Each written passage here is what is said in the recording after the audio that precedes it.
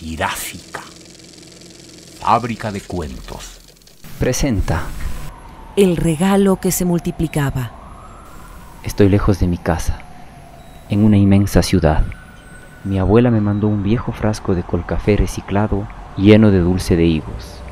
El frasco venía con la consigna de que debía comer un higo cada luna llena. Pero a la tercera luna llena, el contenido del frasco despertó. La transformación de la materia, de nostalgia a dulce de higos, de dulce de higos a continente. Este libro álbum de ficción y más cuentos completos encuentra los libres en la web de Giráfica. www.girafica.com